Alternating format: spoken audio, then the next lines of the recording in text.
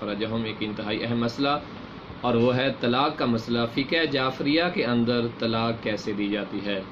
اس کے لیے کیا شروط ہیں؟ طلاق دینے والے مرد کے لیے چند شرطیں ہیں، اور وہ یہ ہیں کہ مرد عاقل ہونا چاہیے، بالغ ہونا چاہیے، اور اس کے ساتھ ساتھ اپنے ہوش و حواس کے اندر جو ہے اپنی بیوی کو طلاق دے، کسی کے مجبور کرنے کی بنا پہ طلاق فقہ جعفریہ میں معتبر نہیں سمجھ جاتی، جب تک یہ اپنے ذاتی اختیار کے ساتھ طلاق نہیں دیتا۔ ہے اور یاد رہے کہ نشے کی حالت میں یا مذاق میں بھی اگر یہ طلاق دیتا ہے تو وہ فقہ جعفریہ کے مطابق طلاق معتبر شمار نہیں ہوگی اور طلاق کا سیگا جو ہے وہ عربی زبان میں جاری کیا جائے اگر یہ خود استطاعت رکھتا ہو، اس کے اندر صلاحیت ہو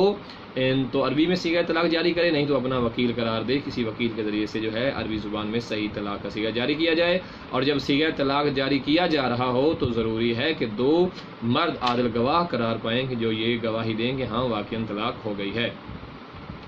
اور یہ بات بھی یاد رہے کہ جس خاتون کو طلاق دی جا رہی ہے، وہ ایام خاص میں نہیں ہونی چاہیے یعنی ان ایام میں نہیں ہونی چاہیے کہ جن ایام میں وہ نماز روزہ نہیں انجام دیتی۔ اور اس کے ساتھ ساتھ کہ جس مہینے میں اس خاتون کو طلاق دی جا رہی ہو، اس مہینے کی پاکی کے ایام میں اس خاتون کے ساتھ جو ہے، مرد نے حقوق زوجیت ادا نہ کیے ہوں۔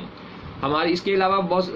تفصیل موجود ہے توض المسائل کے اندر، منہاج الصالحین کے اندر، علماء کی کتب کی طرف رجوع کیا جائے، مدارس کی طرف رجوع کیا جائے۔ ایسے ہی جذبات میں آ کے کوئی ایسا کام نہ کر لیا جائے کہ جو شریعت کی نگاہ میں طلاق نہ ہو اور ہم اسے طلاق سمجھ بیٹھیں جیسا کہ ہمارے معاشرے میں ایک اور بھی سلسلہ جاری ہے اور وہ یہ کچھ خواتین جب مردوں کے ساتھ ان کے معاملات اچھے نہیں رہتے تو وہ عدالت کے اندر جا کر یا اپنے سرپرست کے ذریعے سے عدالت میں رجوع کرنے کے بعد جو ہے عدالت کے ذریعے سے طلاق لے لی جاتی ہے۔ یاد رہے کہ فقہ جعفریہ کے اندر